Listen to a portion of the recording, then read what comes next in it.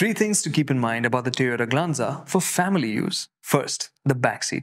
It's incredibly spacious, so much so that you would enjoy being chauffeured around in it. It's not the widest backseat in the class, so three adults would be a bit of a squeeze. But two adults and a child would be absolutely comfortable. But the middle passenger gets a lap belt, there's no armrest or cup holders on offer here. Second, taller occupants will find enough legroom and headroom in the back or in the front. Shorter drivers might find the dash a bit tall, but then you have seat height adjust, tilt and telescopic steering on the top two variants to help you out. Third, the elders will find enough space and comfort on the inside, but getting in will be a bit difficult because the Glanza is not going to be high and easy to get into like SUVs are.